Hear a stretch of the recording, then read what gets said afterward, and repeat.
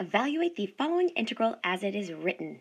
We have the integral from pi by 4 to pi by 2, and the inner integral is from cosine of x to sine of x dy dx. So the first thing that we want to do is evaluate the inner integral.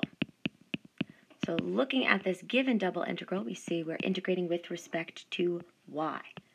So the integral of cosine of x to sine of x dy this integrates to y, and we are ready to evaluate from cosine to sine. So this leaves us with sine of x minus cosine of x.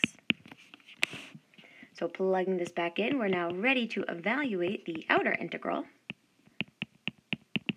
And again, looking at our given double integral, this is now with respect to x. So we have the integral from pi by 4 to pi by 2 of sine of x minus cosine of x. And we are ready to integrate. So this becomes minus cosine of x minus sine of x. And we're evaluating from pi by 4 to pi by 2.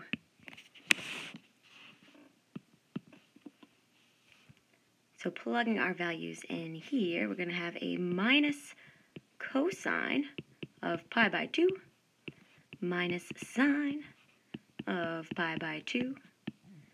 And then we are subtracting a minus cosine of pi by 4 minus sine of pi over 4. So we're ready to evaluate here. So we're going to have, we know, cosine of pi over 2 goes to 0, so we have 0 minus 1 minus a negative square root of 2 over 2 minus the square root of 2 over 2. I need a little more room. And this becomes, we have a negative 1 multiplied, or excuse me, negative 1 minus a minus 2 times the square root of 2, all divided by 2. And we've got some nice cancellation here. We see those 2's cancel each other right out. We also have a negative multiplied by a negative. So that becomes plus. So I have minus 1 plus the square root of 2 as our beautiful final answer.